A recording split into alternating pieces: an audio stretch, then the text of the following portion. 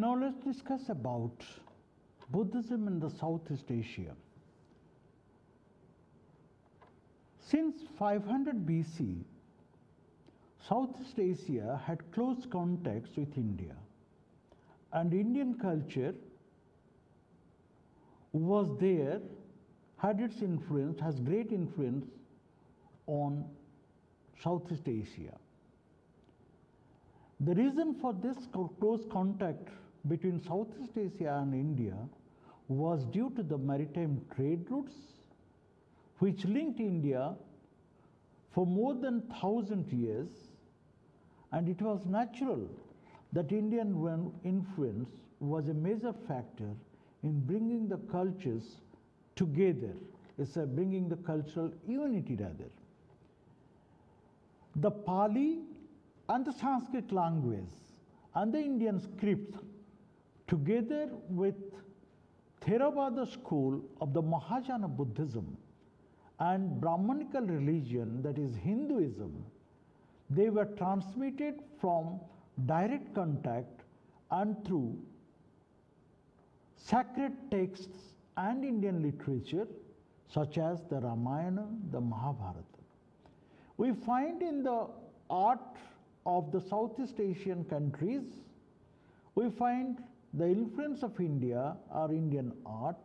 We find the stories of the great epics of India, Ramayana and Mahabharata are there.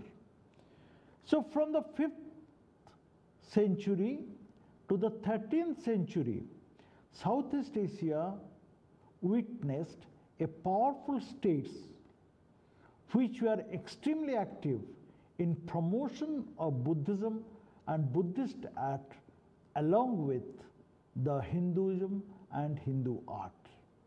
The main Buddhist influence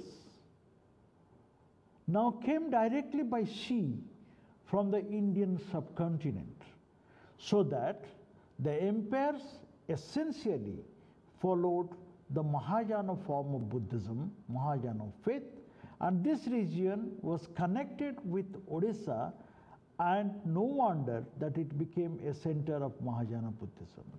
In my deliberation, I continuously stress, uh, trace on the importance of Buddhism in Orissa because Orissa played a major role in promoting Buddhism and exporting rather Buddhism to different parts of the world. So it is no wonder that Orissa, which was uh, which is the eastern state of India, was a very powerful state with maritime trade relationship with many of the countries in Southeast Asia.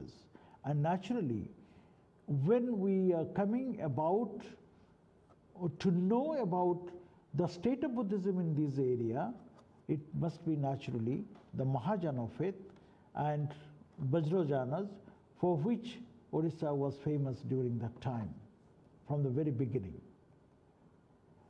Now, that Buddhism was very dominating in this part of the world is known from the fact that an island kingdom was named as Kalinga. There is one state in Southeast Asia is known as Kalinga. It's a, it's a small state in, in southern uh, Indonesia. Uh, it reminds of the connection that this Kalinga had with the ancient Kalinga where Ashoka the Great fought the Kalinga War. Now it was this Kalinga where from where Buddhism started spreading over all the all over the world. And here it is interesting that we find a kingdom of Kalinga. Kingdoms like Funan, the Khmer's empire, and the Thai kingdom of Sukhothai, and the Sri Srivijaya empire Median kingdom of the Majapahit were all under the influence of Buddhism.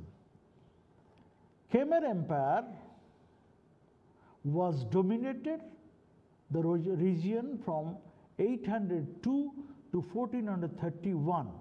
It was patronizing both Mahayana Buddhism and Hinduism. Under the Khmer, numerous temples, both Buddhist and Hindu, were built in Cambodia, and in neighboring Thailand. One of the greatest Khmer kings, Jayavarman VII, who ruled over 18, uh, sorry, 1181 to 1209, built the large Mahajana Buddhist structure at Bayon and Angkor Thom. In the Indonesian island of Java, Indianized kingdoms like the Kalinga kingdom, because Java had a direct trade relationship with present day Odisha, which was ancient Kalinga in the 6th, 7th century. It were destinations, these were the destinations for Chinese monks seeking out Buddhist texts.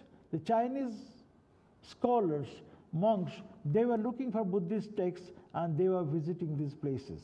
The Malayas reign from 1600 uh, from 650 to 1377, a maritime empire centered on the island of Sumatra adopted Mahayana and Vajrayana Buddhism and started spreading Buddhism to Java, Malay, and other regions um, they conquered.